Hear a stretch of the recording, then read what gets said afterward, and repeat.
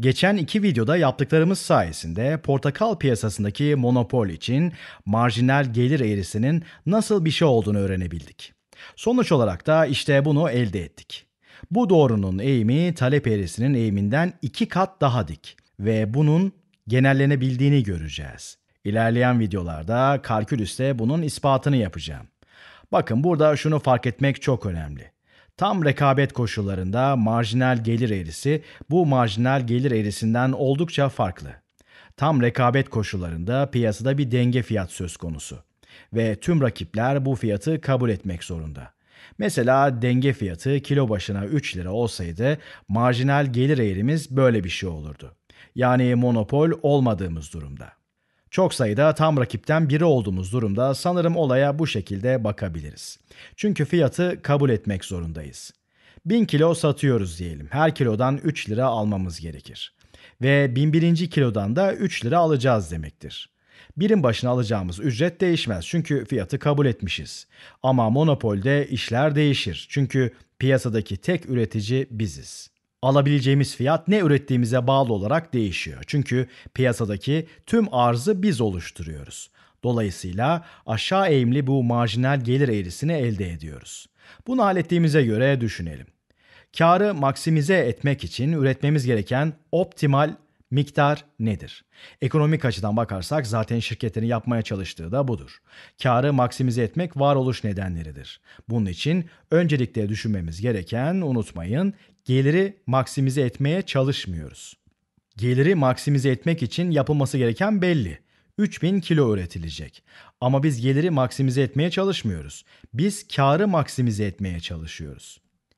Maliyetleri de göz önünde bulundurmak zorundayız. Bunun için de bir marjinal maliyet eğrisi çizeceğiz. Diyelim ki ben araştırmayı yapmışım. Şirketin sahibi biziz. Şöyle bir marjinal maliyet eğrisi elde etmişiz. Marjinal maliyet eğrimiz böyle bir şey. Şu çok önemli. Piyasa biziz. Piyasadaki tek üreticiyiz. Dolayısıyla bu sadece bizim marjinal maliyet eğrimiz değil. Bu tüm piyasanın marjinal maliyet eğrisi. Şöyle de düşünebiliriz. Bu piyasanın arz eğrisi. Herhangi bir fiyat seviyesi için piyasanın arza ne kadar istekli olduğunu gösteriyor.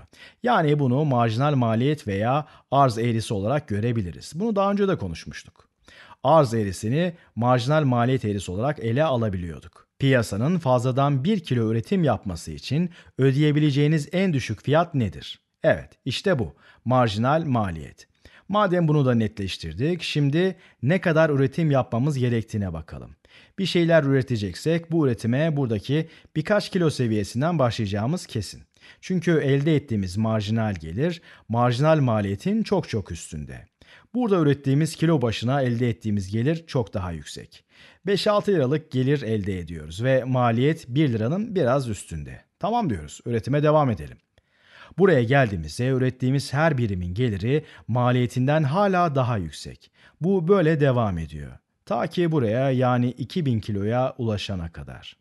Bu noktada artık bir birim daha üretmek mantıksız. Çünkü bir birim daha üretirsek, 2001. kiloyu üretirsek tam olarak burası yani.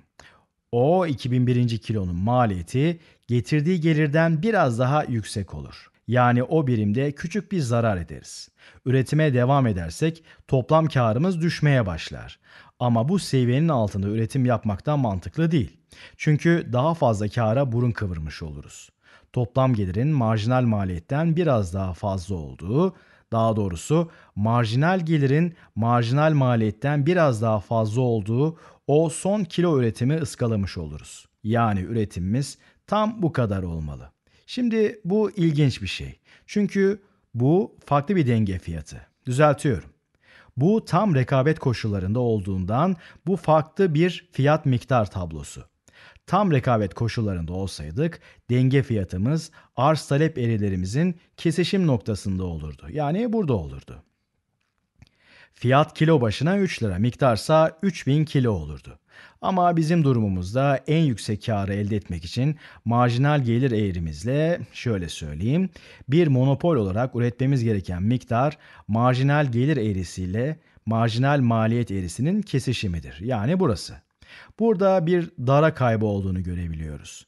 Demek ki monopol olmak belli bir dara kaybını da beraberinde getiriyormuş. Ama biz halimizden memnunuz. Monopol açısından iyi bu. Ama en azından bu örnekte toplum için iyi değil. Bunun toplum için iyi olduğu çok az durum geliyor aklıma. Ama böyle bir iki durum var. Mesela milli sanayi korumaya çalışılıyor olabilir gibi gibi. Burası üretmeye karar verdiğimiz miktar. Fiyatın yukarısında ve talep eğrisinin altında kalan da tüketici fazlası. Yani buradaki dik üçgen tüketici fazlası. Tüketici fazlası. Üretici fazlası oldukça iyi görünüyor. En uygun seviyeye getirmeye yani optimize etmeye çalıştığımız şey de bu. Tüm bu alan üretici fazlası. Bu alan böyle komple üretici fazlası. Ama bir dara maliyetimiz var. Tam rekabet koşullarında olsaydık sahip olacağımız, daha doğrusu toplumun sahip olacağı bir toplam fazla var burada. Ama şimdi bunu kaybettik. Ama bunu kaybetmeye karşılık üretici fazlasını arttırıp tüketici fazlasını azaltabildik. Üretici yani monopol buradaki dara kaybının çok üstünde bir değer kazandı. Tüketicinin elde ettiği değerse bunun çok altında kaldı. Umarım bu video size faydalı olmuştur.